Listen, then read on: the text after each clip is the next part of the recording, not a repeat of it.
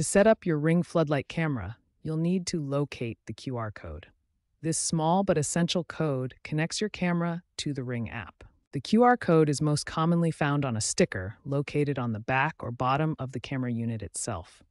You might also find the QR code printed on the front page of the product manual that comes with your camera packaging. If you're having trouble locating or scanning the QR code, don't worry. The Ring app provides an alternative setup option that allows you to proceed without scanning the code. Remember to check the back or bottom of your camera first, then look in your manual if needed. The Ring app will guide you through the setup process either way.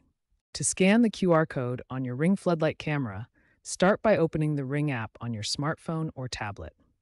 Tap on Set up a device from the main menu, then select Security Cams from the list of available device types. When prompted, tap I'm ready to scan and position your device's camera directly over the QR code on your Ring floodlight camera.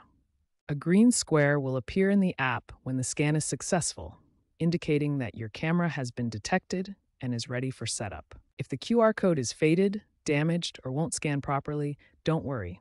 Tap other options within the Ring app to access alternative setup methods. These alternative methods provide reliable backup options when the primary QR code scanning doesn't work as expected.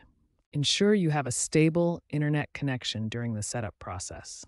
This is crucial for successful device registration and initial configuration.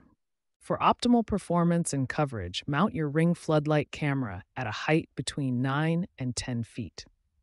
This ensures the best motion detection range while keeping the device secure.